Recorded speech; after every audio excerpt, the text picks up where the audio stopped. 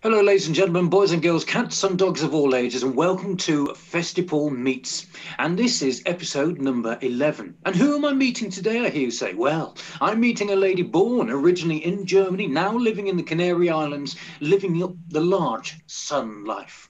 She releases songs that are so perfect that the word perfection actually was delved into the unique music that she produces. And she also wrote a song for Coventry, what more do you need than that? It is a lady who comes from a family of musicians who all sound as perfect as each other. It is the wonderful, the fantastic, the superbly unique Luna Keller. Hello, Luna. Hello, what an introduction. Wow. that was amazing. Thank you. How's how's your uh, Christmas and New Year's been? I've not really spoken since then, have we? Well, it has been normal because since I live like thousands of kilometers away from my family, I've always been celebrating it only with my parents here in Tenerife. Yeah. So we weren't affected by the restrictions because it was literally the three of us. Yeah. so that was fine. We could kind of do everything like we usually do. The only thing I really missed is we have this amazing concert where usually there are like 35,000 people singing Christmas songs together. That didn't happen. And that's mm-hmm. like my favorite Christmas thing. And also here, we don't get our presents on Christmas. Um, oh. We get our presents on the 6th of January, and the Three Kings bring them. And oh. I've been volunteering at the parade because there's a parade for town of the Three Kings. So I've yeah. been volunteering there every single year and that didn't happen either. So those were like two things I missed a little bit, but like in general, it was it was pretty normal and yeah, quite yeah. nice.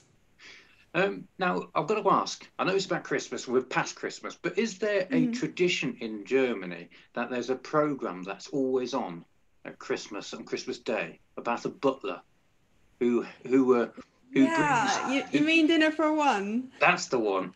But I think it's more New Year's, but I'm not sure. Maybe I'm ah. wrong. I, but I, yeah.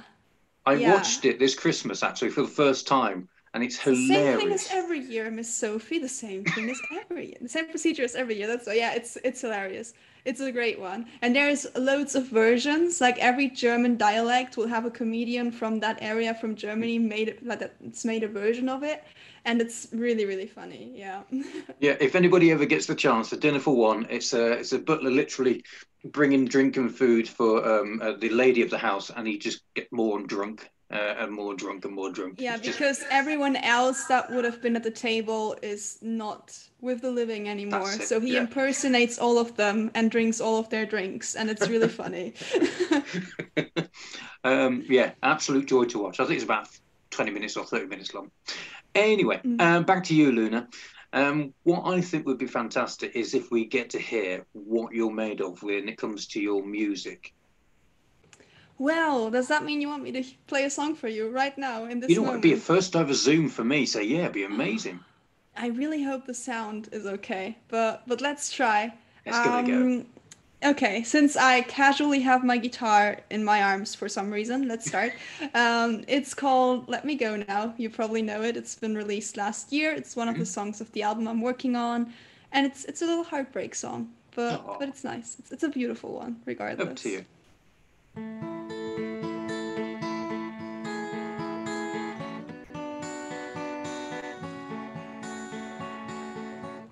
I just kissed your lips and they weren't those I missed. They weren't even yours. The blue in your eyes used to keep me mesmerized, but they don't shine anymore. We used to light a fire with the spark of our desire. Where did that spark go? When we danced, others watched. When we kissed, time stopped, but time goes so slow now. Oh, let me go now. I'm not afraid of falling down, down, down. We should go now before our fires burn out, out, out tired of building a love that no one understands. The Congos of the past. I'm saying I love you, babe, but it just doesn't sound the same. For our love didn't last. We used to light a fire with the spark of our desire. Where did that spark go? Danced, others watched. When we kissed, time stopped, but time goes so slow. No, oh, let me go now. I'm not afraid of falling down, down, down. We should go now before our fires burn out, out, out,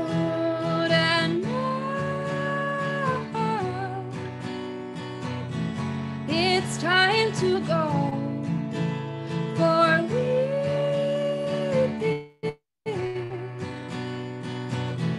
don't exist anymore.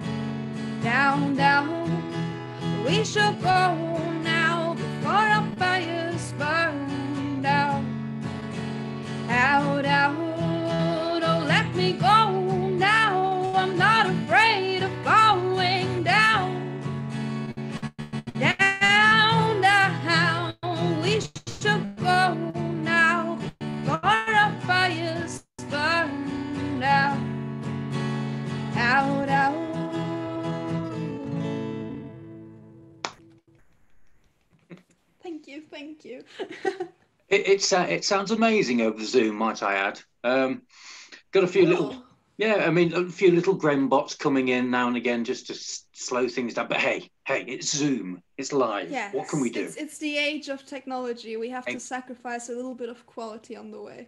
Exactly, exactly. And here I am in the UK and the snow's falling. Meanwhile, you're over there in Tenerife. And is there any snow over there?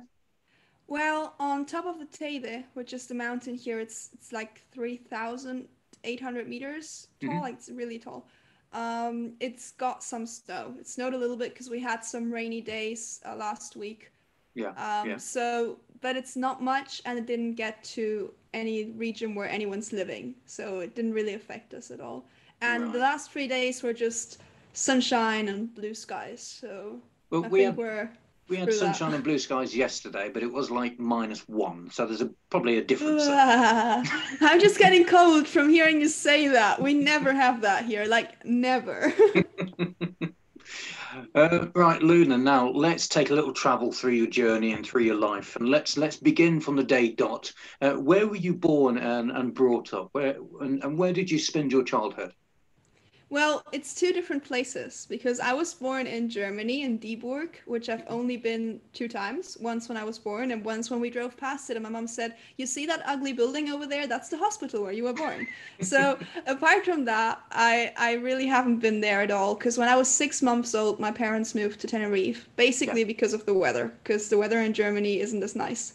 Um, they actually had that planned before they even knew that I was coming into their lives, so it was like a little surprise passenger and they moved here so i grew up here and i was kind of growing up with both languages. So i was speaking german at home and just from kindergarten really really early speaking spanish. Yeah. um, which is a huge privilege i think. It's really really been a great help not only traveling but also learning more languages like english just already having that.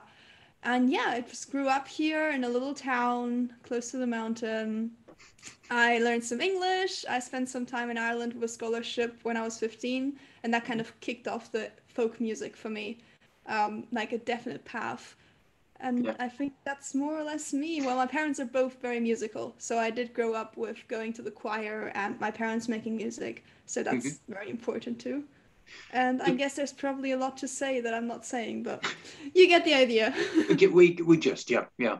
Uh, so what did your mom and dad do then before they, they before you blossomed into who you are? Uh, I mean, I'm guessing they were musicians, but what were their jobs before they came over to Tenerife? Well, they're not professional musicians, actually. Mm-hmm. Um, They've always been, it's always been a big part of their lives. My mom was singing in choirs since she was small, and my dad was in bands since he was a teenager, too. So Yeah. It wasn't really. My dad did have a job that was related to the music industry because he was in um, music distribution, mm-hmm. so bringing the instruments around and traveling a lot to the USA too. Amazing. So he was doing that, and my mom was in a marketing agency for a long time, and then they kind of discovered um, Chinese astrology and the five elements and health and cooking and nutritionism and all of that. And my mom kind of went into that, and she's now a cookbook author, and she does like classes and seminars and loads of stuff with that, mm-hmm. which is super interesting. And my dad and her have that company together, so they kind of build that up together.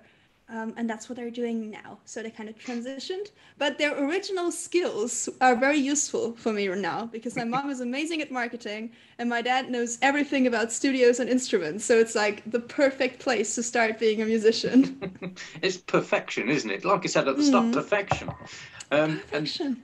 And, and uh, a little bit of selling. What, what's your mum's full name for her books? No, for cookery books. Um, it's Daniela Herzberg. Um, many of them, I think almost all of them are in German though, but she wants to do something translating. So, so yeah, definitely. I mean, I've been eating her food for all my life and it's amazing. So 100% recommended. um, so can you, so for instance, can you sing a song in English, German and Spanish? Can I? I can. Yeah. Do I? Seldom. um, I I've I've just discovered that I feel very comfortable in English. Yeah. I have written songs in Spanish. I could mm-hmm. play one if you want. Um, but the German songs are more a necessity. So how can I describe this accurately? Um, just it's sort of when I have to say something to someone that doesn't speak English, then I write a German song. Like it's yeah. a song I wrote for my grandparents or for my cousin or for a wedding of a friend. You know, like it's more like specific personal things. But when I write about myself, um, in the end, those are the songs that make it onto my projects that kind of tell my journey and what I learn and the stories that I find fascinating. Mm-hmm. I mostly end up falling into English. And same with Spanish.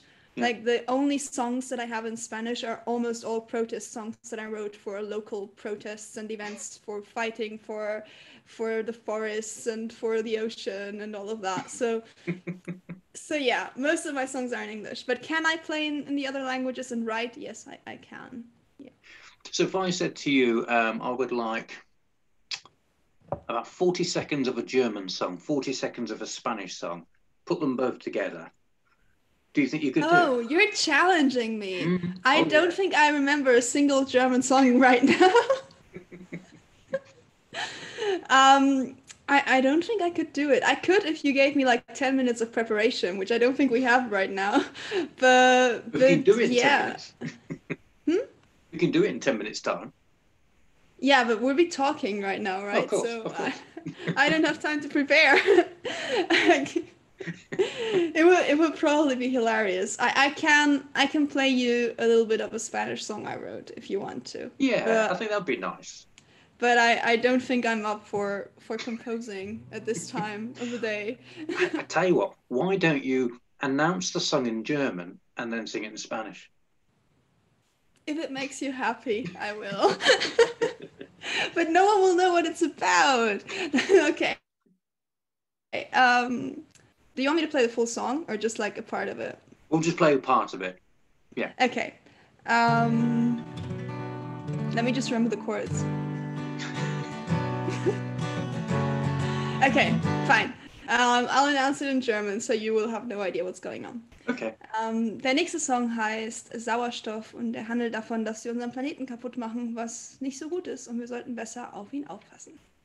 Is that clear? Yeah? Yeah, definitely.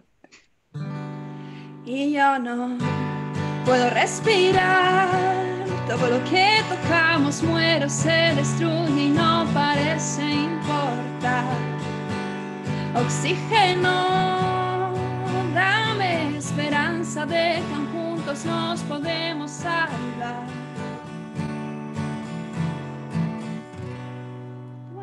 That was a chorus. You know what? It, it, doesn't matter what language you sing in, you still sound amazing. You got you got oh, one of those. You.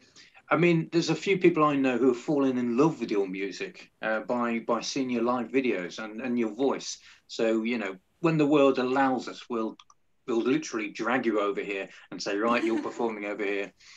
Um, yeah, thank you so much. I actually have it's on my bucket list to play a little tour through the UK. Even oh. if it's just house concerts and small venues, I have quite a lot of amazing friends and people I know like you um, yeah. the, that I would love to to meet in person and to make some music with and for. So yeah. once this is over, I will I will take a plane and I will be there. You take a plane. Just go run onto the airport. That's mine, and then boom, over. Just take a plane. First thing, first thing. When they ease the lockdown, I'll just you know I put down my sports clothes, my guitar on my back, and then I'll just sprint to England. I don't even need a plane. I'm gonna run so fast the ocean will carry me there. No, it, that's, that's an exaggeration. yes, it's, it's going to split. It's going to be biblical. It's going to go down in history. Um, we all, people go, oh. Um. Little angels singing. that would be hilarious. It would be a really good marketing stunt now that I think about it. yeah, yeah, I think so, definitely. um, because we we met uh, by chance really because I, uh, I I did a group called the Festival from Home which is still you know open for people to put their music in and and you joined and shared some of your music mm. and you were playing with your mum and dad and I thought I was like wow I said I've got to get you know I don't have anybody from at the time which I thought was Spain at the time I said I don't have anybody from Spain to join me on on a festival that I was putting together um, I think you mm. did two you did the 24 hour one and a 12 yeah. hour one yeah um, and it's really, really cool. I really enjoyed it. I met so many amazing musicians. Some of them actually became friends, and I even met one in person when I was in Switzerland. It was just so so cool to be a part of that. It's so cool that you organized that, and thank you so much for inviting us on. But to be honest, that was the idea of the world connecting, and then people meeting people, the off chance that they get. And like I said, you you got the chance. Uh, but we'll talk about that a little bit later. Um, let's take a little backtrack though. Um, back to when you, you, you back into your childhood, when did you start? Obviously, your parents were very much into music, but when did you start becoming the singer and songwriter that you are today? Well, I mean, I did start singing in the choir with my mom when I was like 8 mm-hmm. And it's really funny because there is no kids choir here. So I was in the adult choir and you would see everyone standing there and then just this little blonde head in the soprano section. It would be quite funny. But yeah I, I did start singing there but it was not like i was passionate or songwriting at that moment. I was just like hey this is cool. These are nice people and i like singing so let's do this um, and then my parents they were playing some songs they did like a little thing where they were playing covers together my dad on the guitar my mom was singing and mm-hmm. they played at little events and stuff and there was a certain point where I would practice a couple of songs with them and like join them and sing some backing vocals. And I kind of started dabbling in instruments. I started playing the bass. I wasn't patient enough. I stopped. I started playing the piano. I wasn't patient enough. I stopped. I started playing the guitar. I wasn't patient enough. I stopped. I started playing the bass again. And then I realized I can write song on, on the bass. That was the moment where I was like, oh, I like songwriting. And then I found my way back to the guitar. It was actually pretty late. It was like 13, 14 years. I was mm-hmm.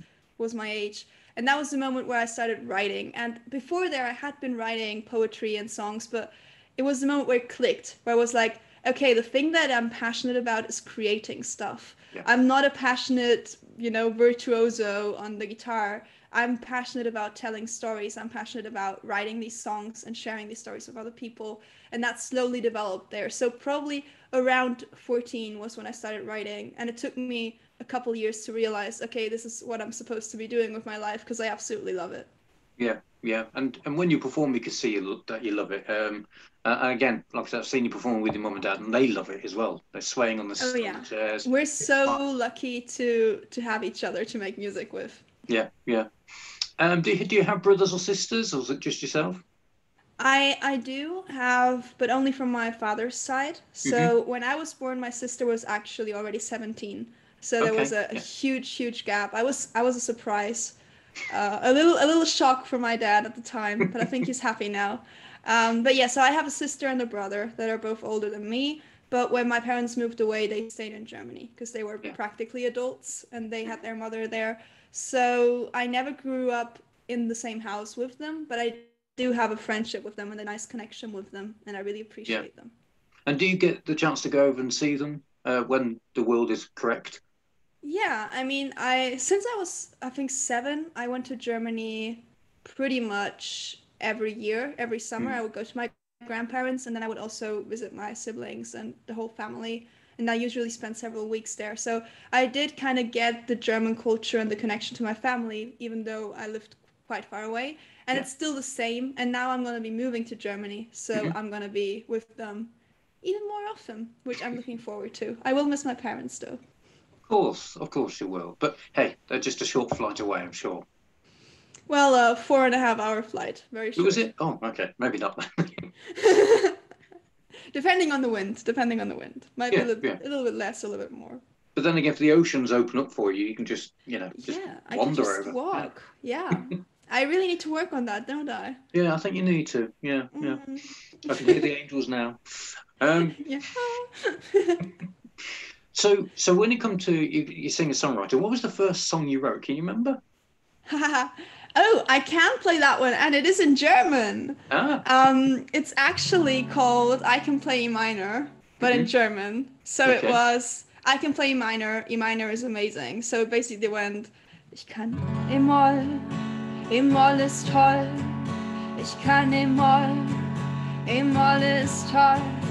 Ich kann ein A, das kann ich klar. Ich kann So it was basically just playing all the chords that I could play and Mhm. saying that they were amazing. It was incredibly stupid, but very fun, and it's still a running gag up to this Yeah. day. So yeah, that that was my first song. It was really bad, but you know, we all start somewhere.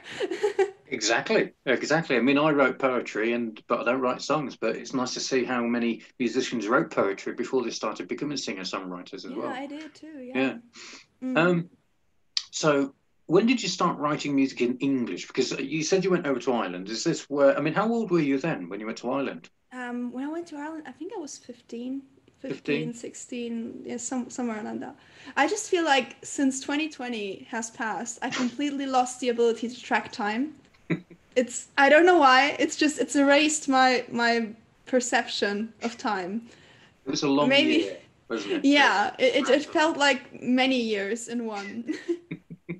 but yes, I think I was 15. I think that, that's about right. And, yeah. and and how was you uh, when it came to speaking English uh, when you got to Ireland? I was kind of lucky because my parents realized that schools here are really bad at teaching English because they Mhm. are. Like Mhm. everyone has English for over 10 years and no one speaks English. So it's like just really bad. Um, so they actually got me into extra lessons in the in the afternoons after school. So I got some some better English, and I also uh, had some friends because people come here from England sometimes, and many have apartments here. There's almost a little English colony in Los Gigantes. There are more English people there than Spanish people. And my parents play tennis there, and I used to be there a lot. And I actually made friends with many people, but especially with with a really good friend. We're still friends with Olivia, and she was she had a good Spanish, but we kind of didn't communicate in Spanish, more in English. So talking to her Mhm. and having those extra lessons had given me a pretty good like basic understanding of English. But Yeah. when I arrived in Ireland, I was in this very little town. Uh, well, it's not small, small, but you know, it's not it's not a big city. And I just remember arriving, lovely people. It was an amazing experience. But I remember arriving the first day, and the house of my I was with a host family. It was filled with people, and they were speaking really quickly with a very strong Irish accent. And I was just thinking, this isn't English. How am I supposed to understand this? I was so lost. So it did take me take me a while to understand all those words, like going for a nosy. What does that mean? You know, it's it's walking around town, but I didn't know that. That's the, that's the thing, isn't it? You've got to learn as many slang words. It's it's easy learning the, the, the words to another dialect, but but learning the um sorry the languages, but learning the slang Mm. words. That's I'd imagine that's really difficult as well. It takes its time, but the result was after three and a half months, I came back home Mhm. and my parents barely understood me. So I had completely adapted all of the slang and I had a pretty strong Irish accent that I've been slowly losing since then. But I feel like Yeah. there's still some little hint of it once in a while when I talk. Little twang in there, yeah, yeah. Um, so you you know English, you know Spanish, you know German. Do you know any other languages? Are you Ah, je parlais un it- petit peu de français. a little I bit speak of a little bit of French, yeah, See, but not that well. I mean, it's you're, you're like the female version of Dave Grohl from Foo Fighters because he goes to other countries and sings one song in that language of that of that country, which I find That's really cool. I didn't know amazing. that. Yeah, and it must. Yeah, I would love that. Actually, Mm. I should do that. Yeah, I mean, how does it? How does he? I think it's best of me. I think, and um, I think, how does he sing that in J- Japanese, for instance, when he's over there? Then, Oh, I'm sure Japanese people will, will find it funny though. He he must make some kind of mistake in there. But that's the thing, you can't take yourself too seriously as an artist. Like when I play live, I do loads of silly things. I mean, you know, you've seen the live streams. I play the air trumpet, which I can't really play at all, and I do a lot of stupid things. And that those are the things that people remember. yeah, yeah. So something like that is great. And I always, when I play somewhere, I will learn enough words to introduce myself and my music in the language of that place because it's respectful. And Yeah. I will also learn how to order food because it's necessary. hmm See, as, as British people, we're quite lazy when it comes to languages. So you know, we just think, well, it's it's the English uh, vocabulary or nothing. So we're we're quite lazy, to be honest. Um, Yeah. Now, when it came to your very first stage performance, I'm I'm guessing without your parents, how did you feel? Were you really nervous, or were you confident, or how was it? Well, it was, you know, I, I was used to stages because I had been on stages with the choir, I've been on Mhm. stages with my parents, and I'd done theater before. Yes. And the very first time I played an original song on a stage, um, this might not even be the first time, first time, but it was the first time I clearly remember, and Mhm. that sort of felt big. There was this competition where people from all over the island were writing songs, poetry, and making art from different schools about this local painter. Mhm. And I wrote a song about one of his paintings. It was a Spanish song. It's called Cae la lluvia, the rain falls, because that was the title of the painting. And I had recorded it. And the idea was we were in this big old theater with like the balconies and all of that. The idea was they were going to play the song, the recording, and that was mm-hmm. it. So the recording didn't work. And Crazy Me said, okay, hey, there was a band there, a pretty well known band. So I walked up to the singer of the pretty well known band and said, Can I borrow your guitar? Because I was not gonna let my song not like they had to hear it. It was, you know, I was so proud. Mm-hmm. So I actually took the guitar. I hadn't practiced the song. I kind of forgot half of the chords while playing it. But the cool thing was I stood on that stage filled with people. I played that song and the band of that very famous singer joined in while I was playing because they saw I was a little bit lost. So suddenly there were drums, there was a bassist, and the famous singer, like not famous but you know locally famous, was Yeah. singing backing vocals, and people were putting their phones on, and I was standing there, my legs were shaking. I, I went off stage, I was like, oh my god, this was terrible. I was terrible. I mean, it was amazing, but I was terrible. Mm. And my best friend came up to me and said, that just was the best moment of the whole day Oh, and I will never forget it because it was the first time I played an original song. It was an absolute disaster, and people still loved it. So Yeah. that basically sums up being a musician very often. uh, how big was the audience that were there? Can you remember? Ah, how many people go into that theater? Several hundred for sure. Mm. Mm. Um, I don't think it's it's over. No, it's not a thousand. It's less than a thousand, but it's still, several still hundred. big, still more than Mm. twelve, isn't it? So, um, Absolutely. that's one way to put yourself on the stage, isn't it? I suppose go, big I like I don't know what went through my mind when Hmm. I decided I'm just gonna go up there and play a song I haven't rehearsed and that I barely remember the chords with in front of all of these people. Yeah. Um, but I do have that sometimes, and often it has brought me the best moments of my life when I Mhm. just like brush away my my doubts and I'm like I'm just gonna do this now. Let's just go for it, no matter what happens. And often what happens is amazing. We just need to take a big old step out of our comfort zone, and it's really Yeah. worth it. I always say that step uh, step out your comfort zone. I always say the same. Um, so, how old were you at this point? Can you remember? Ooh, that was before Ireland because it was in that school. So maybe it was when I just started. So maybe like also like 14 or 13, like really when I was just starting to write songs. It was pretty Yeah. much in that transition between writing poetry and writing songs because I was Yeah. writing poetry since I was about 12 already. That was pretty early in there. It wasn't good. I, Mhm. I won a competition, but I don't know how I did because it wasn't really good. Um, but but I Um, enjoyed it. That So- might be you saying it wasn't very good, and it was probably perfect. You know, perfect is a word that I never use. like honestly, I feel like perfection is the enemy of art. Because the art or the thing that reaches us and the thing that moves us and the things that makes us stand out and that makes things relatable at all are those little flaws, mm. are those little imperfections. Like when I hear a recording of a singer and their voice broke a little bit because they were mm-hmm. just about to cry when they sung that song, I don't see that as an imperfection. I see that as heartbreaking and I will probably start crying with them. Yeah. And I feel like art is not about perfection. Art mm-hmm. is about emotion, and emotion yeah. has never been perfect. So I, I don't really strive for perfection. I don't know if that makes any sense, but yeah. I'll edit all the perfect words out then. nah, you don't have to. They're still kind of flattering, but. um. So, I mean, when I first met you, you you'd um, you unleashed a fantastic song that I absolutely fell in love with and played on the radio the first moment I had the chance, and that was Midnight Queen. Um, we've mm. jumped ahead here a little bit, um, but Midnight Queen was a song that kind of introduced me to you. Um, uh, mm. Although you sent me another song, um, I'll I'll bring you home, I believe it was called. Yeah. Working on memory there, um, and two, two amazing songs, absolutely amazing songs. And I thought straight Thank away, you. I've got to keep in touch with Luna because your writing skills, your lyrical work, and your masterful play is is another word for perfect. Um, superb. Thank um, you.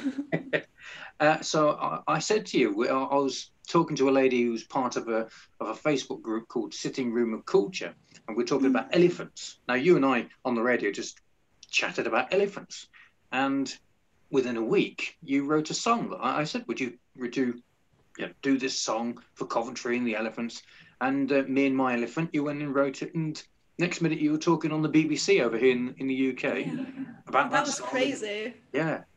yeah, it's one of my favorite stories to tell. It's just like you know, I you know how I how I got on the BBC for the very first time. I wrote a song about an elephant that turned a sofa that turns into an elephant. It's so bizarre. I've still got it now. I've still got it now. Um, but yeah, I love that. I absolutely adored that. But but your music, if you, I think I I kind of mentioned um, uh, first aid kit, you know, 1st mm. aid kit, and I, I kind of said that you're very much like first aid kit. But I always I don't think I should say that because that's kind of taking away you as a performer. If that makes any sense. No, I, I feel like they are absolutely amazing. Mm. When you introduced me to them, I listened to I think Stay Gold is the album. Yeah, yeah. Um, and since then, I've become a fan of them. Like, yeah. it's your fault. I absolutely love them now.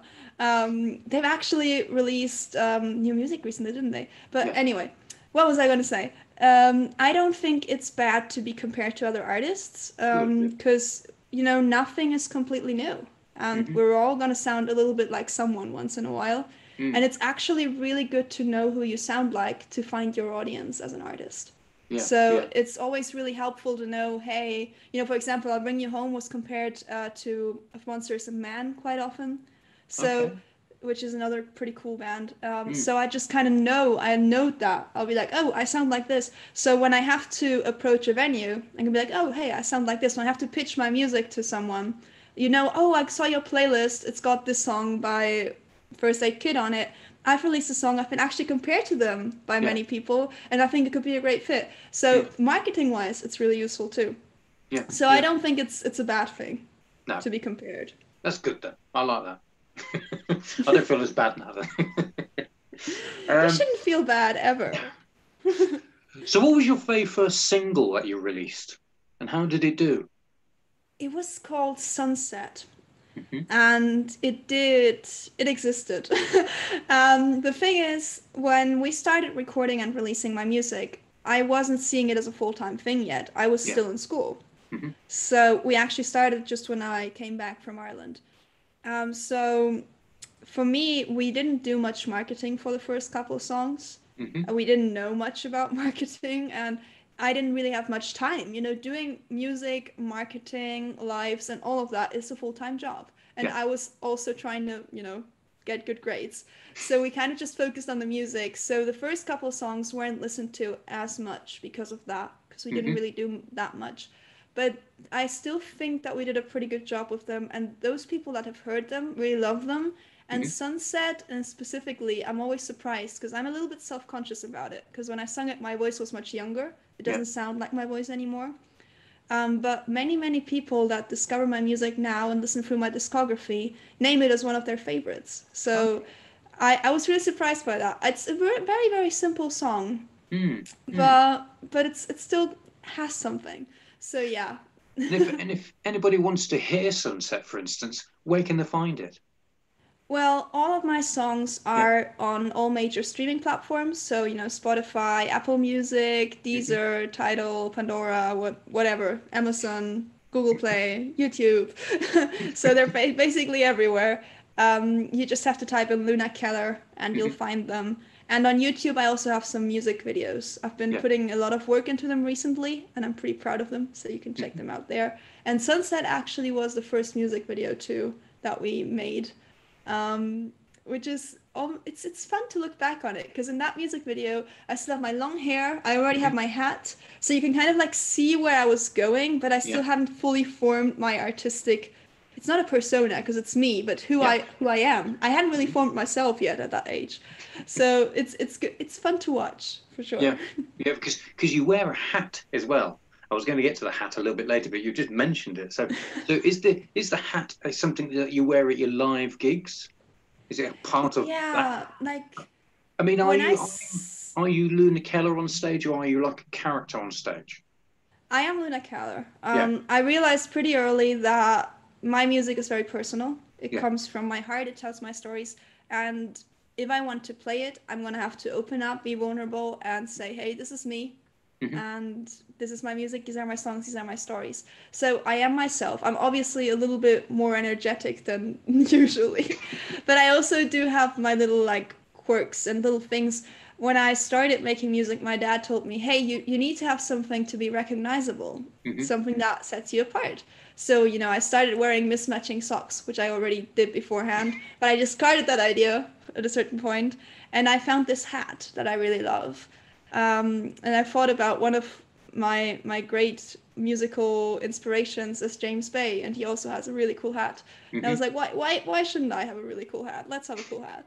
So I started wearing it, and it kind of stuck. And I really love wearing it. I Yeah. should probably wash it though. If you only got the one, I only got the one. I need to get another one. uh, and what kind of hat is it?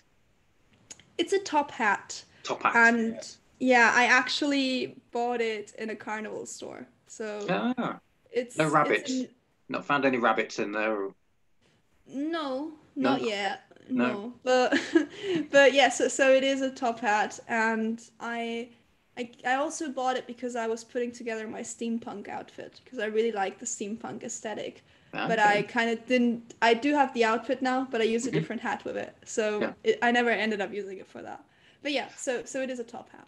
Okay, okay. Um, now, where what was your inspirations in music? You mean like other artists? Yeah, yeah. Who did you listen to and go? One day I'm going to be myself. I'm going to be, I'm going to be like that person.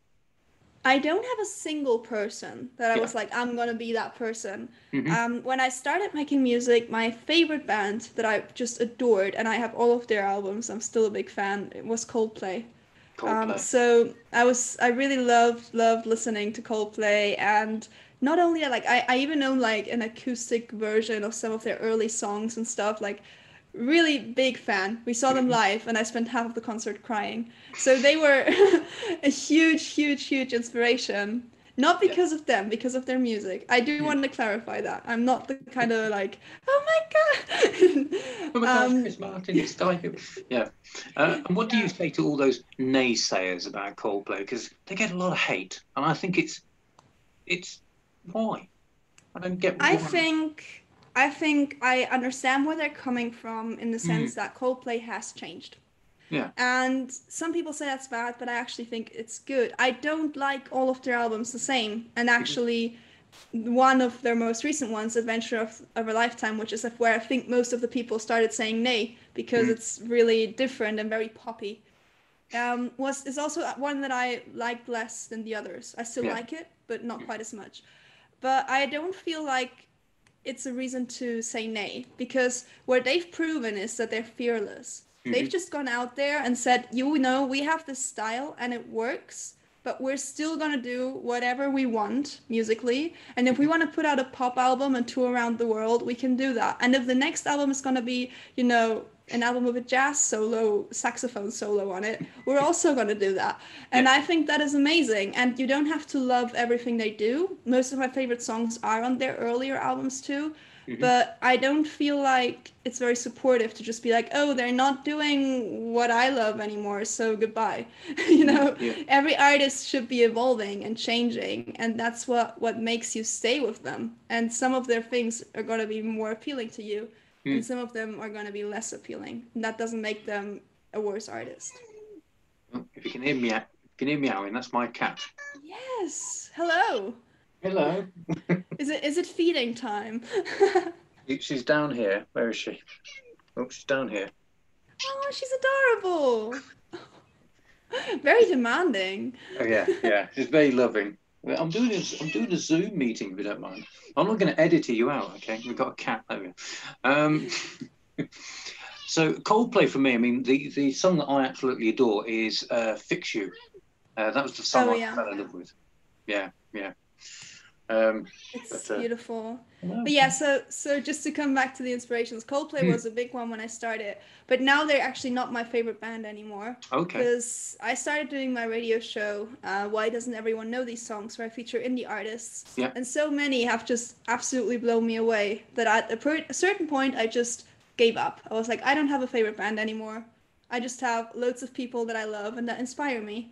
Mhm. And also in mainstream, that has changed a lot. Like some other artists have come into the foreground of my inspiration, such as uh, Lisa Hannigan, Laura Mhm. Marling, some female voices that I adore Yeah, yeah. really. Um, and other bands, very folky bands. I love the Lumineers. I love Mumford and Sons. Yeah. Um, so so it has expanded since then. But when I really started getting into music, I was a really hardcore Coldplay fan for sure. Why not? That's why I say why not. Um, Why I mean, I, I mean, I love Elbow. You know, I can go and watch Elbow, Mm. Coldplay, and, and Kaiser Great Chiefs. band. You know, uh, that's the kind of. But they're the three bands I've seen the most, I think, um, and Mm. maybe Two Door Cinema Club, but they're the main ones. Um, although you know, my style of music, I I like to see different things. So I don't know if you heard of Sigur Rós from Iceland. You I don't think so, but No? maybe in the written form I would have, Hmm. because I'm just really bad at pronouncing. Right, stuff. yeah. Yeah, it might. I, I'd, I'd recommend them. You might. It's a very different take they on what they. do ring a bell somehow. I have a, a friend who has a very good music taste and who keeps introducing me to people from, yeah, basically north of here, making very weird and amazing stuff. So, um, so I'm I might have I I think do you write it S I G U R and then it's a new word and then it's Mm. something like R O S or something like that. Yes, Sigur Rós. That's Okay. so, yeah. yeah. Yes, I think I've heard a song or two. Yeah. Yeah. Um, I know you have as well. Um, let's touch on your theatre a little bit. How uh, uh, do you still do theatre, or was it a very short period of your life? It wasn't a short period. I did do theater for five years. Um, So I started with like a school play, and then I realized there was an amateur theater group um, in town, Mhm. and I just became a part of that. And they started doing like little lessons with the the- theater school. So I just kind of went there. We did a play a year. I would be there twice a week or once a week, depending on the year, um, and I would just play. And I absolutely loved it because it was like this freedom of expression and also something that i love about music and art is that you get to be and tell stories that you are not living yourself. Yeah. so my very very first theater role was actually it was a, a theatrical version of um, oh how do you call this? Aschenputtel in german. Here we are again. Cenicienta in spanish. And in english it's it's that fairy tale about this girl and then she loses her shoe at the dance and the Cinderella. prince- Cinderella, Cinderella, that's the yeah. one. Yes, thank you. Sorry. so it was a, a theater version of Cinderella, and I was the evil stepmother. And I had so much fun on stage, like so much fun. So And wa- was this? In, did you do this in English, Spanish, or?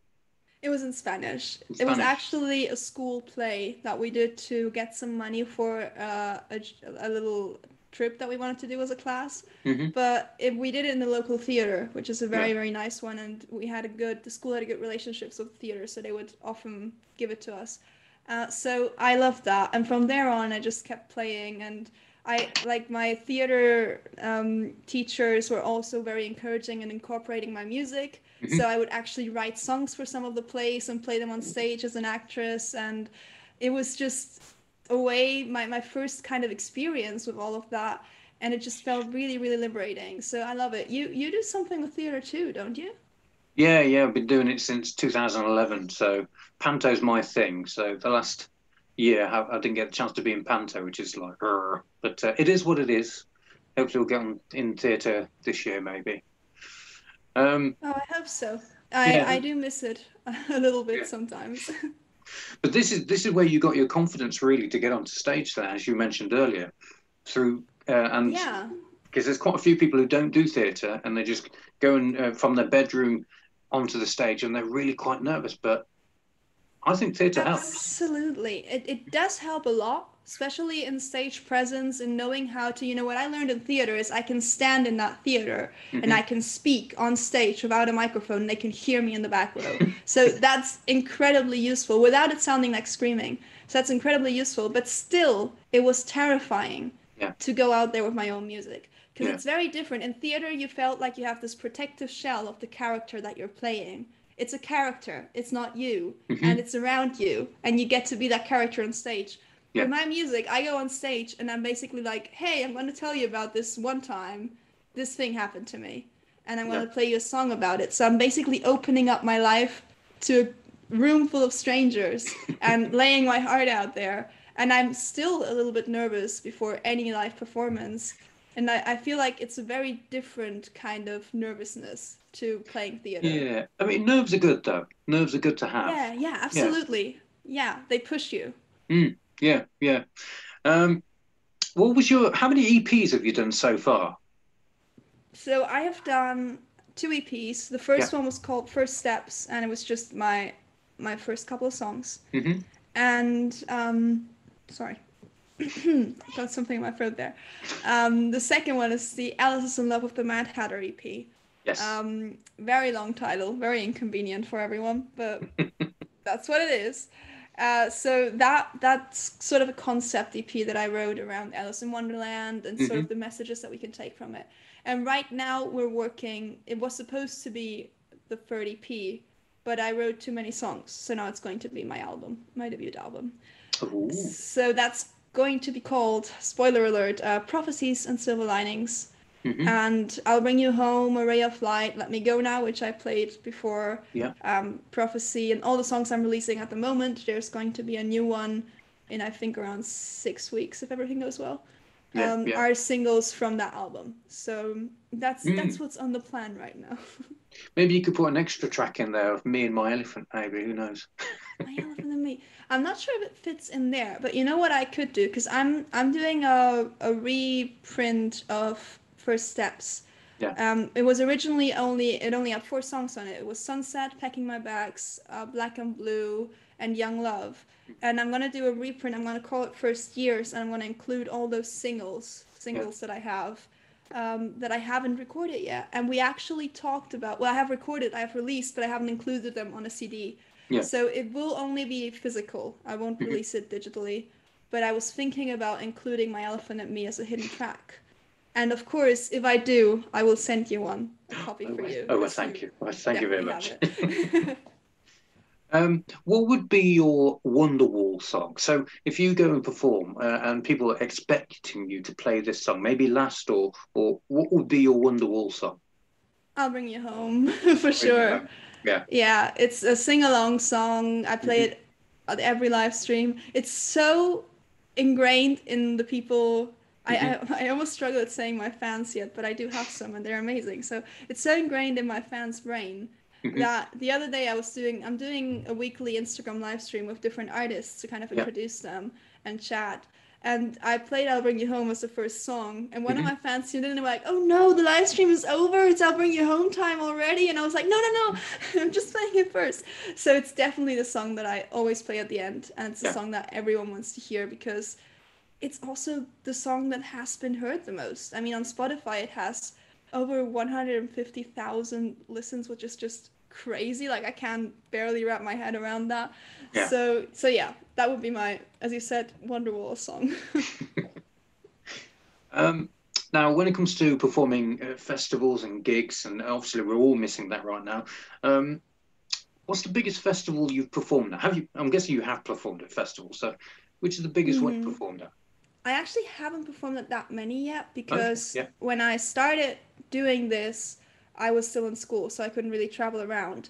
Yeah. And then when I actually started doing this full time, COVID hit. So it was Mm. like, Yeah. not so good for festivals. But I did play on one local festival, um, which was the Jazz Roja Festival. So Yeah. I guess that was the biggest one I played, and it was uh, interesting because Mm. it was a jazz festival, and I did a collaboration with this flamenco jazz guitarist. We wrote a song together, and it was very Okay. different. Um, but I got on stage, I got to open for another band, and it was really, really fun. But I hope to play more. I Mhm. did at the moment. I'm the most gigs that I've played have actually been house concerts, which I Yeah. adore playing. And I was even lucky enough to squish in a little house concert tour last year, despite all the craziness. So yes, yes. I feel very fortunate. Yeah, and did you have a name for that tour or?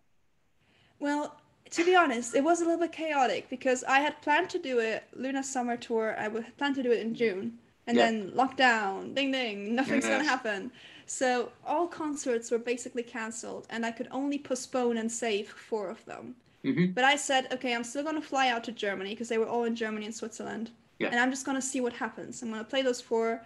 Worst case scenario, I get to spend a lot of time with my family. Yeah. Um, best case scenario, I end up playing concerts, and I played those four concerts, and I met people there that wanted to book me for other concerts, and ended up playing eleven concerts in that time, including the one in Zurich, um, Yeah. where where you're from untrue band. I always always forget the name. It's a little bit. I would say like No Wham band. Um, helped me organize. So so it ended up being this wonderful adventure filled Mhm. with concerts and amazing people. Yeah. And I was just really lucky because just when I finished, things got a little bit stricter again. So it was like just that gap. But at least you had that little experience as a bit of a Yeah. warm. Yeah.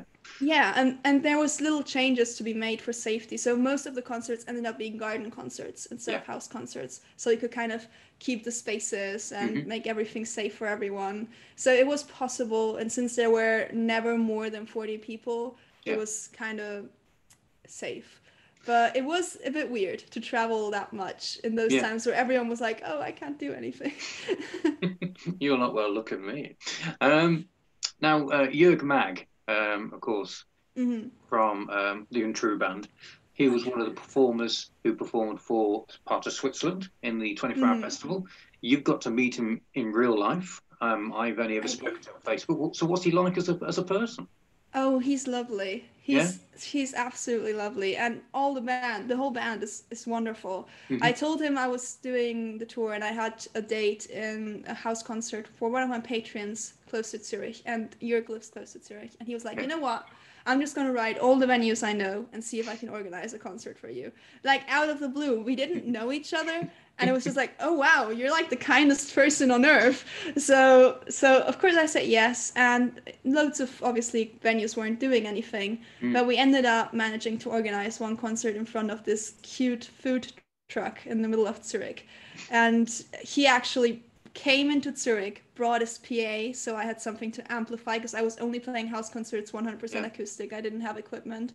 So he came to Zurich, brought his PA, he brought his band his audience to cheer me on, and we had uh, a drink afterwards, and it was just so lovely. It's really one of the most lovely people that I've ever met. So, and his music is so great too. I have a constant earworm with Yeah. one of his songs. So, definitely worth checking out. A big shout out here to the Untrue Band. And Yeah. a big thank you too, because it was so, so lovely, especially in those times where there's so many people that I've met online. Actually, Mhm. getting to meet someone in person was really cool too. It is, and uh, I'm hoping, uh, hopefully, I haven't asked him yet, but hopefully I'll get to uh, to do one of the podcasts with him. I think that'll be quite fascinating. that would Um, be awesome. Yeah, he's a very interesting person. yeah, yeah, he comes across that way as well, so I, I'm looking forward to that. Um, I've mentioned it once before. I'm going to mention it again because I'd like you to explain the the the, the actual song to me, because of course you, you did do this with with somebody else as well uh, from the United Kingdom, Midnight Queen, the song that introduced me to you. Explain explain this song. Explain this song. Yeah, explain what is what it's. So, if people who haven't heard it before, explain the song to the people who've not heard it, so they can go out Okay, and it's it's a piano-based ballad duet sung by Eric Bay, who's Mm-hmm. an amazing artist um, from the UK, and myself. And Yeah. basically, what happened is he wrote me on Twitter and was like, "Would you like to collaborate?" And I had no idea who he was, but I listened to his music and I was like, "Okay, this is amazing." So I said yes, and then we just kind of chatted, and I had this chorus that I had written, which was. Did she already go? Did she cast you in that spell just to leave you where you fell? So I only had that, and I was really stuck. I didn't know where to take it, and it had been lying on my phone for over a year at that point.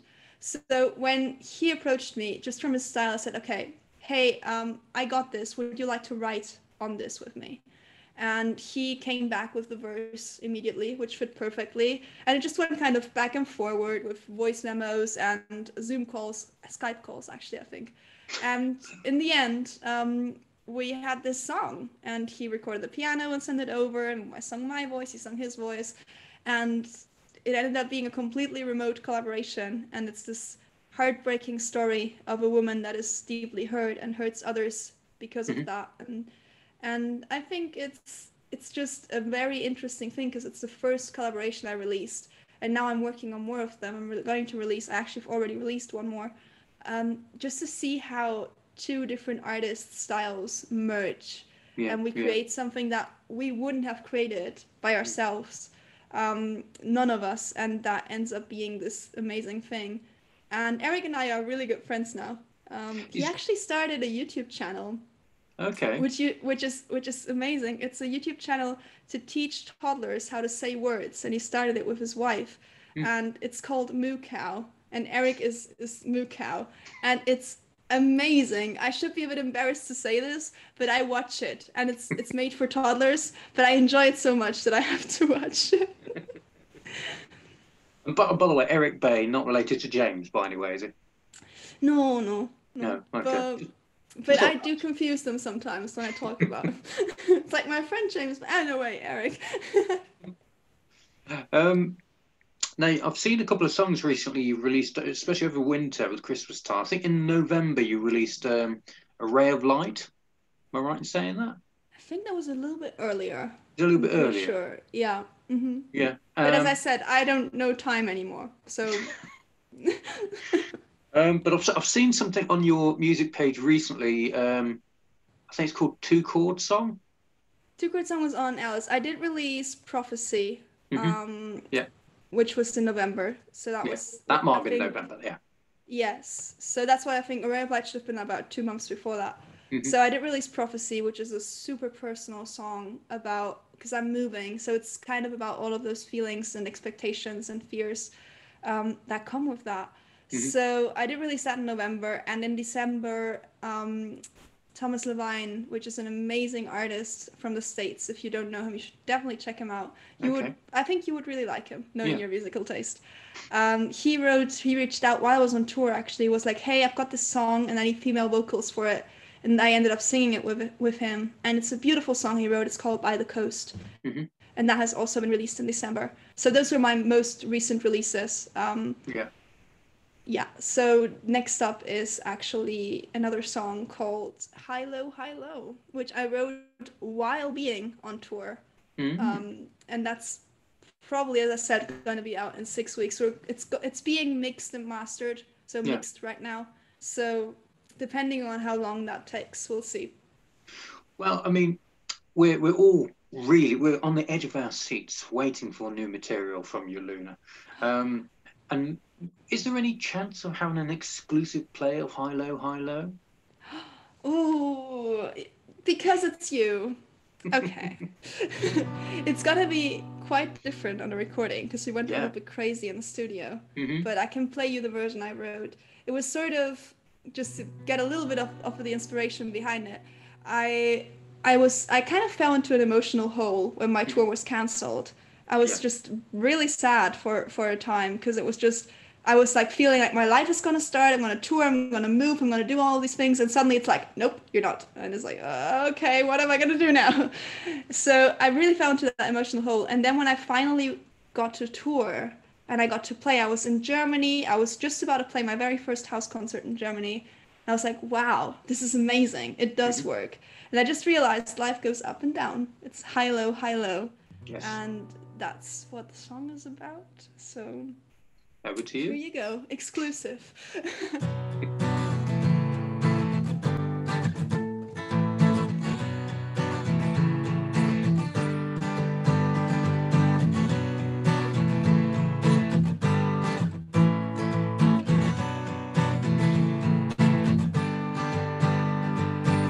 Feeling high on the highway, I see the world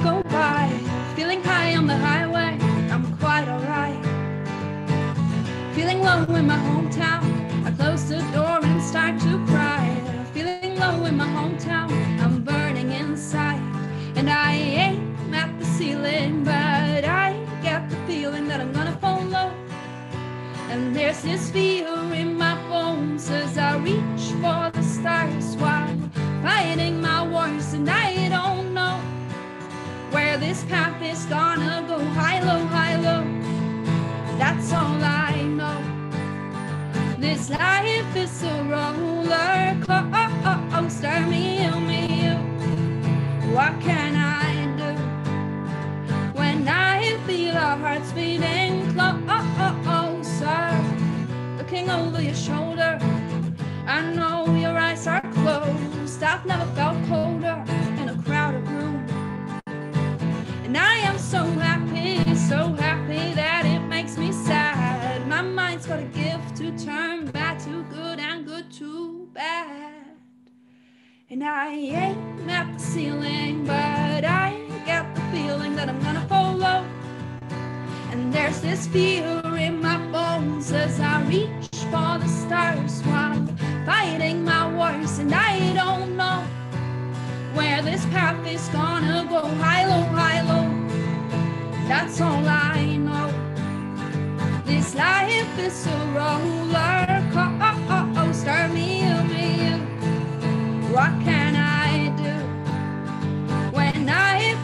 hearts beating closer?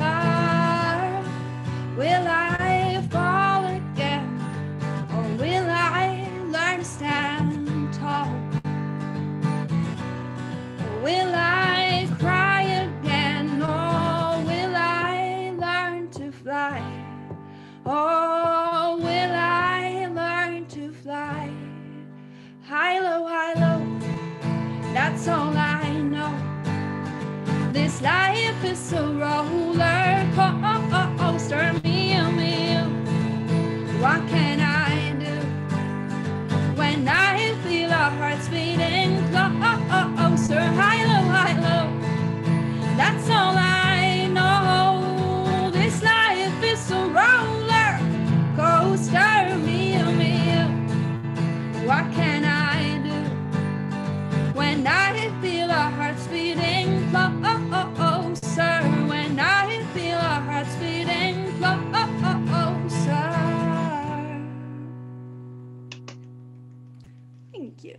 That's from me and Sue the cat, who uh, absolutely adored it, didn't you, Sue? Yes. yeah, I'm sure my my cats are so used to to us rehearsing. I'm always blown away because they have very sensitive ears, right? Mm. But I remember we, we actually for some time we were playing with a percussionist. So it was my dad on guitars, me on guitars and vocals, and a percussionist. And he would come and he would play cajon really loudly Yeah. in our living room, and my cat would just be sleeping on the chair. Like when he started playing, she'd just like lift her head up, look over slightly annoyed, and then she'd like just decide it doesn't bother her and fall asleep again. it's just hilarious what a tolerance they have. You always have made, you always always made me wonder if a cat meowed over in Tenerife, does it meow in Spanish compared to my cat here in Coventry? That's meows in English. Would they know each other's meow? You know, cats don't usually communicate in frequencies that we hear. Mm. I read that recently. So they the only things that we can hear is their annoyed sounds, which is their meows, and oh, their sorry, speaking speaking with their speaking with their parents sound. So, for example, if they do, I'm I'm gonna try to imitate my cat here. So. Those kind of sounds that are Yeah. like, "Hey, mommy, I want something from you." Mhm. So basically, we only hear them when they say "I'm a baby" and when they say "I'm mad." Um, it's really hard to tell if it's the same language from that. I I don't know. I I think they probably would understand each other just because they communicate non-verbally mostly. But on the other hand, I have this theory about mosquitoes. So Uh-oh. I think mosquitoes sound different in every country. So here they're like very. Mm-hmm. In Estonia, they're like they're like so much deeper and like, and in Ita- in Italy, they're like like like more interrupted. It's it's very very weird. So maybe cats have different languages too. I don't know. You got to remember the mosquitoes in, in Italy. They come through the window, and go ciao. yeah, of course. Don't forget It's that. just yeah. Oh, I had so many mosquito bites when I went to Italy because I went to Venice, and Hmm. Venice is filled with mosquitoes. Really, never been. I'd love to go. Especially in summer. Yeah. Yeah. It was a we went on a trip, a family trip. I was Mm. maybe 12 or something. Don't trust me because as I said, time is not good. um, we went with my best friend um, at the time, Pablo, who I wrote I don't know where I'm going with. He's also Yeah. a really good guitar player, and my parents. Basically, my parents and I were gonna go, and Pablo said, "Oh, I've always wanted to go to Venice," and we're like, "Okay, come along." So, so it was really fun, and I remember we went into this house where we stayed, and it was like very humid. So we Mhm. decided to open the windows, but it was the evening to kind of let the air in. And when we came back home from dinner, it was just filled with mosquitoes. So that night was just fighting Italian mosquitoes with Pablo for hours. I, I will never forget it. So Don't you, don't you I- I- get don't you get bitten or attacked in Tenerife from the Tenerifian mosquito? Oh yeah, absolutely. And I'm I'm how do you say? I don't know if, that expression exists in English, but there is this uh, German expression that you have sweet blood when the Mhm. mosquitoes bite you. Like some people get bitten more. I have Yeah. sweet blood. Like if you're if you're outside with me, I will. The mosquitoes will come to me. Like, um, my my parents always joke I'm the mosquito repellent because everything that comes to me. Um, but yeah, so so there are mosquitoes here. Mm, It mm. really depends on the time of the year. Yeah. Like right now it's colder, so not as much, but in summer we have quite a lot. And they bite me a lot too. Yeah, absolutely. If you're not careful. That's why you're moving to Germany. There we go. See, Yeah, but there are mosquitoes in Germany too, especially in summer. So not not as nippy though. I would I'd imagine. Um, well, I, I have to. been chased by a cloud of mosquitoes by the river in Germany once. I have so many mosquito stories now that I Yes, I've of noticed it. that. Maybe you should write one, a song about mosquitoes. Oh, I'm pretty sure I've done that already. I need to have a look at my songbook, but I'm sure there's somewhere. You know, one of the few sentences in Estonian that I learned to say Mhm. are Mavikan Saski, which is I hate mosquitoes. That was like I, I was there for a week and I learned to say that. So See, ladies and gentlemen, what more can I say? We've had German, we've had a little bit of French, we've had Spanish, we've had English, and Estonian. Yeah, who'd have thought that would happen? Hmm. And that's just a one not podcast. me. Very international. Is there any other languages that, that we can just throw in there? I Hmm. don't know. I did Russian for a while. Um, I can say "Das vidania," Oh. which is which is "see Yeah. you soon." I believe it might. Do you know any be. Swiss? Um, well, they they they speak German in Swiss, don't they? In Switzerland, don't they? I don't know. I've got no idea. Like when I was in Switzerland, they were like they they they're they're they have like a part that speaks Mm. um French, a part that speaks German, and a part that speaks Italian, I believe. And Yeah, there's a, yeah. like a mix. And they do have a strong accent and like a dialect, but Mm. I, I don't speak that. No. I mean, Belgium is very much a country of three different languages, isn't it? German, um, As well, yeah. uh, Dutch, Mm. and F- French. I don't think there is, is there a, a Belgium accent. I don't think there is. Is there?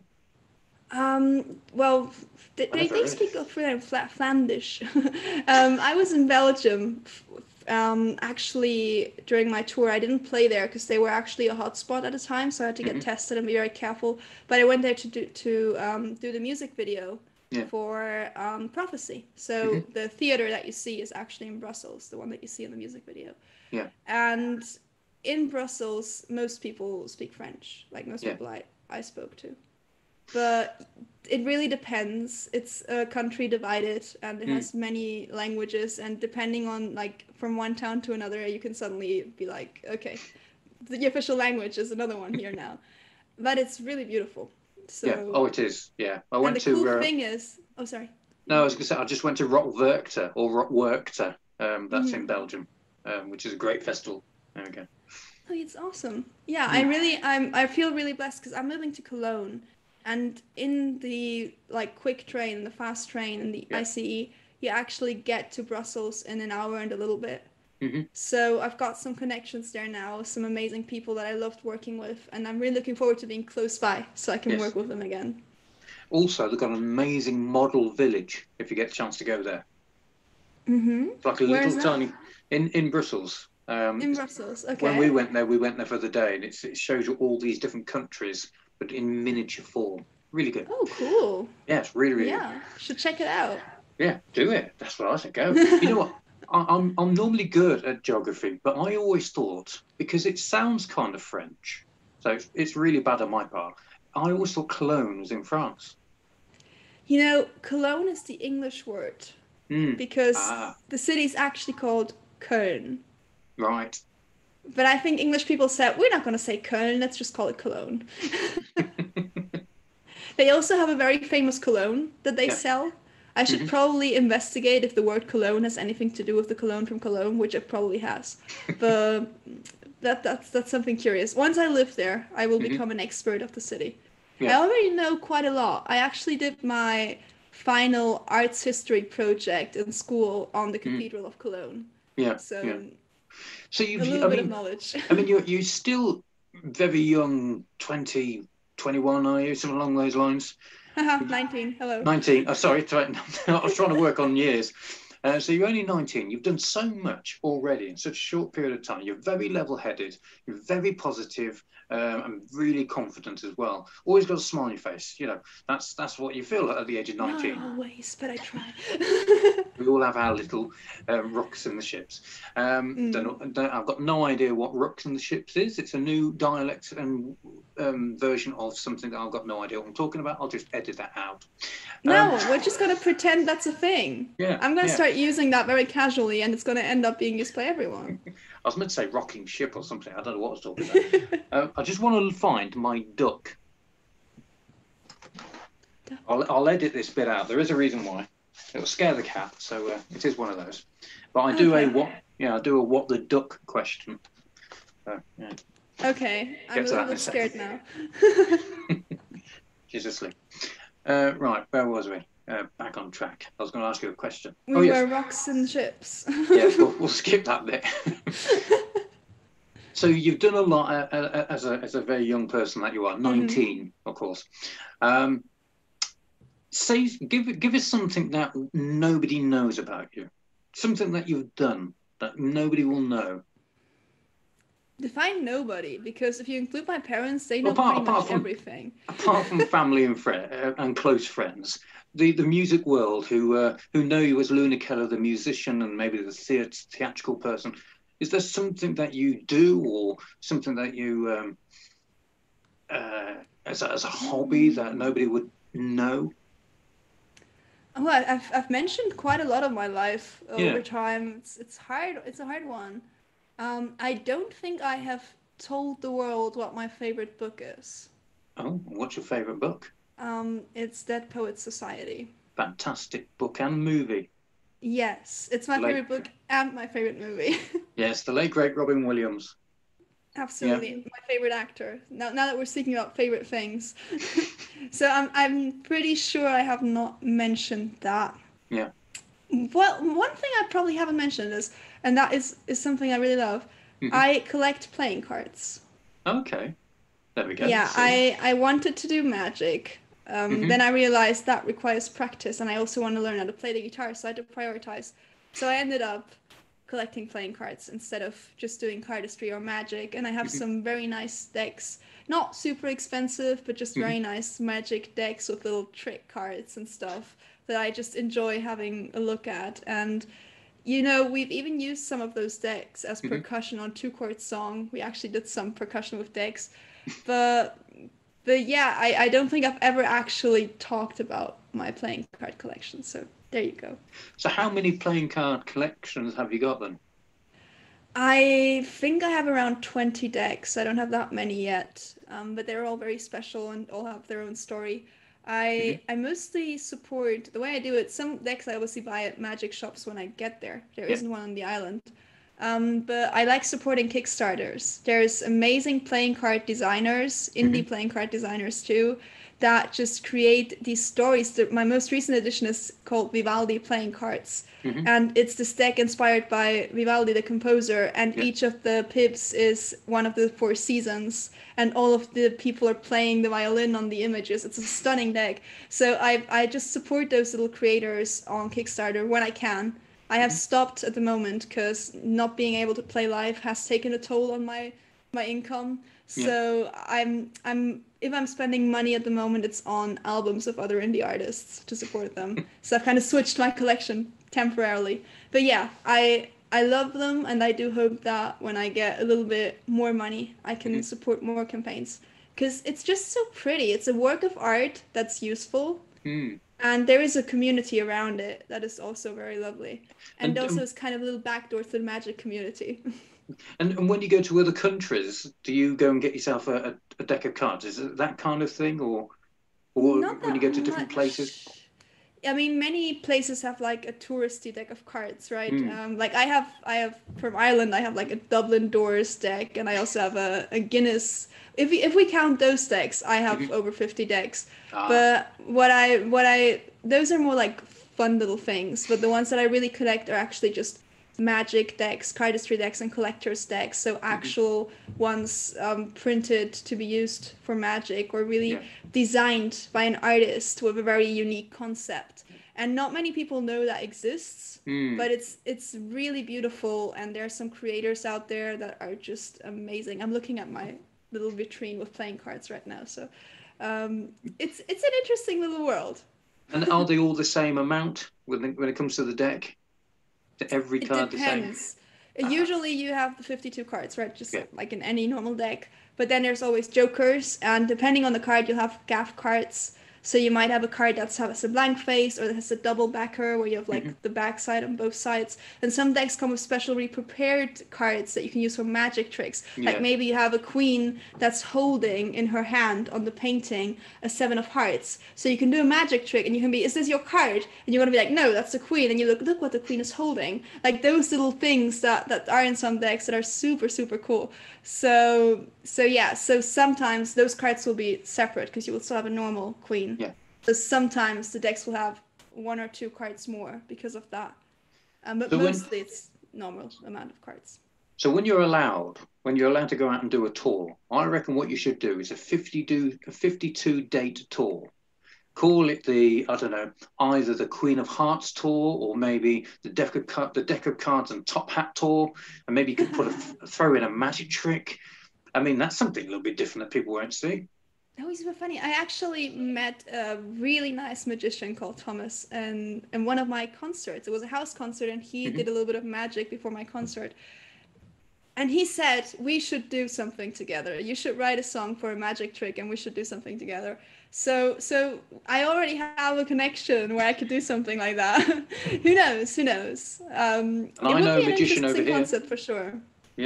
Well, I know, Okay. Maybe I can partner up with a different musician, uh, with a different magician in every country. hey, That would be very unique, wouldn't it? Cool I know idea. at least two very or three cool. here. Um, and who's your favourite magician? That's a question I've never asked. Oh, uh, hard one. I'm a big fan of Piff the Magic Dragon. Piff the Magic don't know if- Dragon. Yeah, with his with his little dog, and I, I think it's just hilarious magic. Um, but it's really hard to pick out a favorite because there's Mm. so many fascinating magicians Yeah. out there. I do. I actually am watching the masterclass by Penn and Teller right now, and Penn I and think they're absolutely brilliant. Mhm. So, so I really, really adore them. But it's yes, Shin Lim is amazing. It's really, really hard. Um, Mm. There are too many good musicians out there. But the one that's made me laugh the most and that I actually follow the most is probably Piff the Magic Dragon, Magic which is yeah. Um, I mean, there's a guy who um, I, don't- I don't know who he was. He was on one of the Penn and Teller. You got to kind of dupe them shows, Mhm. and he he did a card trick, but with cheese. Did you ever see him? Oh, I think I've seen that. Yeah. Really surreal, but it's really good what he how he finished it. Mhm. But um, but yeah, I just thought Um, I'd mention I, that. in case that- I've watched all seasons of Penn and Teller of Mhm. Fool Us. Um, Yeah. There has been so much. It's so original. Yeah. Um, magic on there. I really like. That's also brought me. I, I follow some magicians who are also YouTubers that I really Yeah. really enjoy. So I really love Wes Barker. He actually fooled Penn and Teller with a trick with phone books. Uh, so he's amazing. Yeah. And I also follow Chris Ramsey. He's also a really really cool guy. See, there was a guy who went on the Fool Us who did them, if I remember rightly, and he wasn't a magician. He was um, worked in the casinos and he was blind. Do you remember seeing him? Mm, yes, I did see that a very long time ago. It's Yeah. just like, how did he do that? I mean, he's blind. He's, you know, It's incredible. crazy. And the things Mm. that have been there, I remember, you know, I I'm always impressed by quick change acts anyway, because just amazing. But. Yeah. there was one, I think she was a French woman, and she went on Us, and she wasn't doing quick change, she was doing magic. Because she literally pointed at a dress and suddenly it was on her body, and it was like, how did she do that? There's so many amazing things. And you know, that's what I find fascinating. Magic is all about reinventing yourself and creating something and astounding people Mm. and it has it has such a beauty to it i will always be a fan of it for sure Just like your music. Aww, thank you Um, now, I'm only going to squeak the duck once because I don't want to scare the cat. So, um, this is the what the question. That woke her up. Um, and the reason behind the what the question is that I give you a question which has got nothing to do with what we've been talking about. Okay, it's got Okay. nothing to do with it. But although I say that, we are backtracking slightly on something we mentioned briefly earlier. So here's the question Luna, Mhm. what animal would you be if you were reincarnated? Ooh, it's a tricky one Hmm. if i could choose i would probably be a cat with a loving family so i could just lay around and chill hopefully someone who doesn't have a rubber duck and scares me with it um, but being a bird would be pretty cool i'd probably Hmm. be a raven Yeah. or being a raven would be cool i like the sounds they make Yeah, yeah, yeah. Um, saw a raven today. They're enormous birds as well. But um, but I mean, my cat just lays about. It doesn't it doesn't go out. I don't think she's ever seen a raven. Never mind anything else. But, But, that's uh, what I mean. Like being a cat would be cool, but it would be boring after a while. Being a Yeah. raven would probably be cooler because you can actually fly around and see things and eat some worms. You know, Yeah. you're, you're engaging. Yeah, and they strut. And they're really clever birds as well. Really clever, Mm, great brains, and they strut yeah. around like security guards as well. Like they own the field. Yeah, yeah, There you go. they're really cool. So, see, I'm giving you all these ideas of maybe you could just do an, an alphabetical animal kind of album where you've just got animals. So you've already it's got actually really funny because um, I was recording a song, a demo of a song that we might include on the album Mhm. earlier today. The song is called "Deer in the Headlights," and it's got a reference to one of my favorite songs, um, Mm. which is "The Raven That Refused to Sing" by Steven Wilson. Yeah. So it just made me think of that. It's it's a really really good song. So, what has the future got for Luna? well, hopefully Hmm. a lot of good things. um, I'm obviously hoping to release that album. Well, hoping I'm gonna release that album this year, um, which is what I'm working on right now. And then I've actually finished writing my next album already too. Oh, I'm looking to work on that with another producer once I move to Germany. So Mhm. it will probably be quite different from what I'm doing at the moment, and I'm quite excited about it. Mhm. Um, yeah, the move to Germany, obviously, a very big one. Um, which is super exciting. Just moving away and and really going there. And the cool thing is, there I have some contacts. I'm gonna start playing live more because here on the island, the reason I haven't played festivals and that much is because here on the island you have like two festivals. You know, it's a small island, and you have to take the plane to somewhere um, to play another festival. So it's really hard to get that going. When I'm in Germany, I'm gonna be able to jump on a train and be in a different country in an hour. So it's Yeah. quite a different thing. So I'm really looking forward to the liberty that that will bring. Hopefully, I get to play some festivals, loads of house concerts, and more things live. I might even get a license to busk in Cologne because that's where I started in Ireland. I busked a lot, and I would love to get back to that. So that's in store.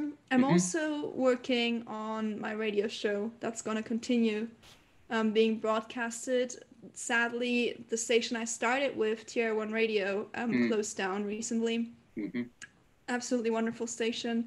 But I'm still with different stations, and I got an offer from a local station um, that's not only online. Um, so I've got an offer for them to play my show, which I'm really thrilled about. So it's. QFM, and I'm going to have my show on there from the next one on. So that's something I will obviously keep on working on too, because I love it doing Yeah. the radio show and introducing other indie artists um, to a broader audience. I'm working on a lot. I'm, I've Mm. started to write for music blogs too, because I wanted to expand on my music journalism part. So now I'm, I'm writing a weekly review on Indie Music Center, which is called Mm-hmm. Artist Pick, where I just kind of introduce my favorite finds. Um, so that's another thing. I could keep talking for a very long time. I'm also launching an event called the Songwriting Circle because I love collaborating and writing with other musicians.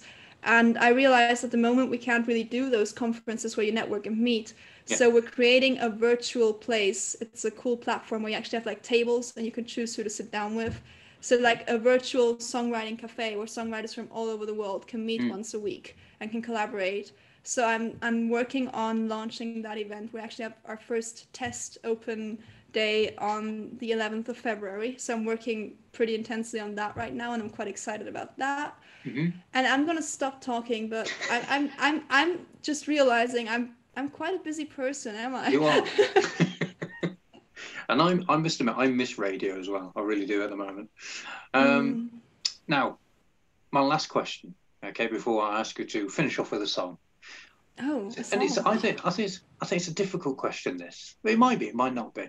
oh, you're scaring me. What if there is? What's the difference with music in Germany, Spain, and England? Can, is there? I mean, with the exception of language, is there a difference in music? Um, yes, absolutely. Mm. Um, the difference is culture, Yeah. of course. I mean, you know, Spain has a culture that's very close to also Latin rhythms and Latin Mhm. music. So you will hear a lot of that here influencing music. But there are all the regular genres, and thanks to globalization, everyone is influenced by everyone. So you will have Yeah. Spanish rock bands that kind of sound like English rock bands. So it's not about generalizing, but there definitely is something that influences music more here Mm, and in Germany you will have other influences. Um, Yeah.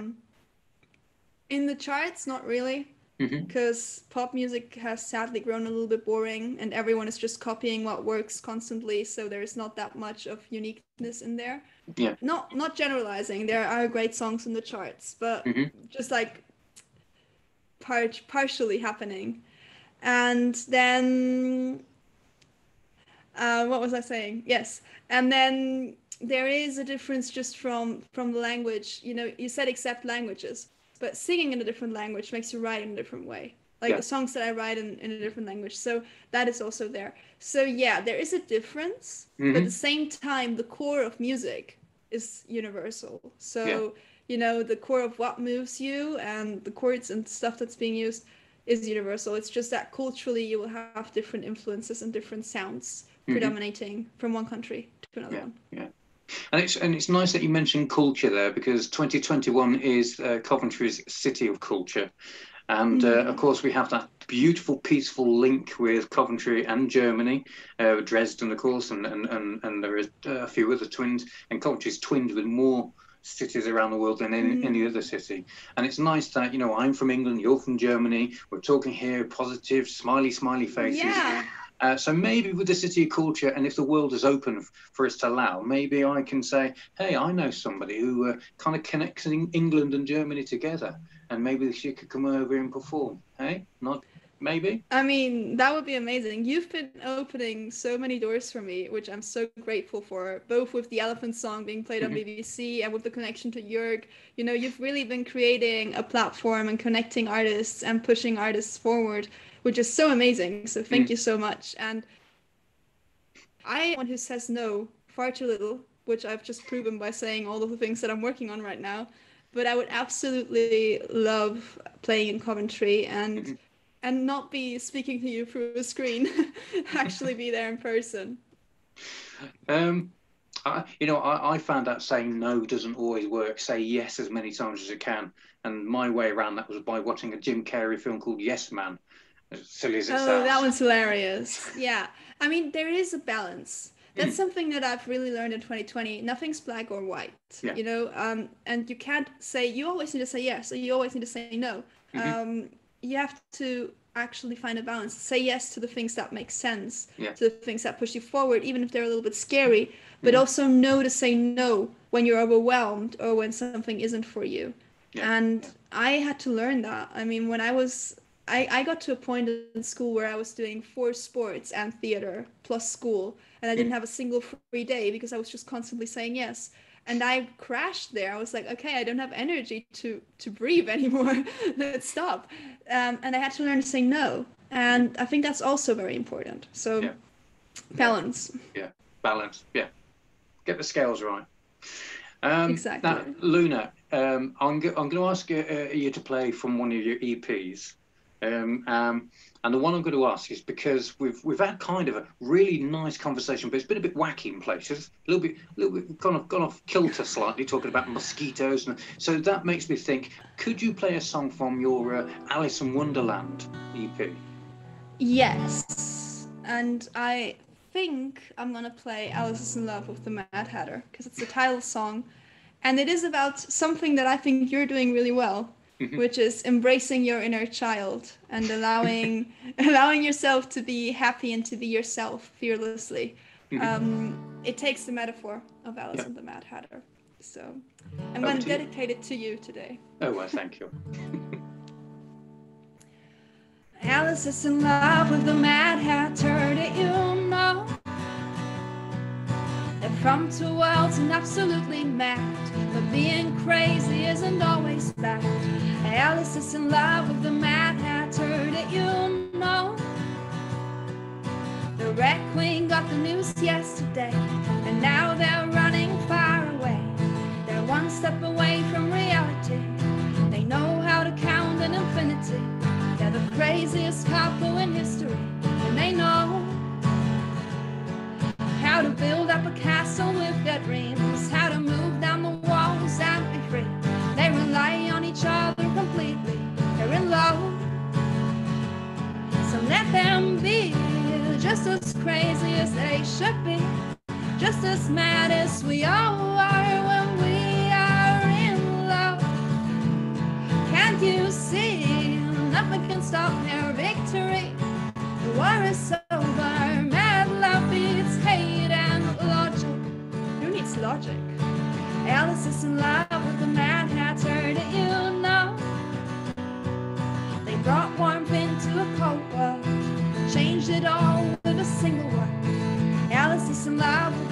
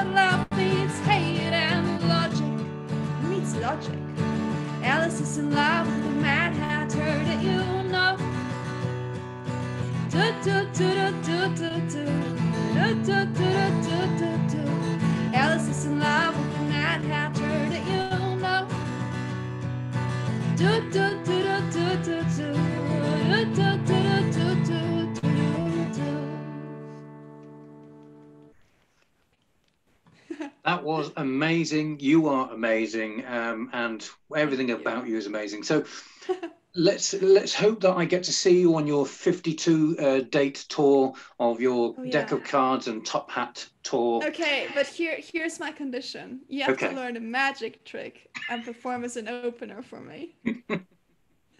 I better get working on that one then. um, thank you very much, Luna, for um, spending your Sunday evening with me. It's been an absolute pleasure. Um, It's been and- lovely. Thank you for having me. No, by all means. And um, this was one of the ones I couldn't wait for because I knew you had an amazing story for such a short life so far. Uh, um, I'll, I'll, if I get the chance to do a podcast in 10 years' time, I'd imagine the stories will be uh, quite astonishing. You'll be on the big stage. I'm working on a collection. I'm quite a collector. But your card collection will be quite big by that point as well, I reckon. so thank you very much. Thank you so much. You are Thank you. amazing too. I don't Oh. want to sound cheesy here, but I really mean it. It's been so lovely to connect and to to forge this friendship with you. And Yeah. I'm really grateful for this lovely evening and this lovely conversation. Thank you. Thank you. Thank you. Ladies and gentlemen, that was FestiPaul Meets. That was Luna Keller. And we'll see her on stage very soon. Bye bye.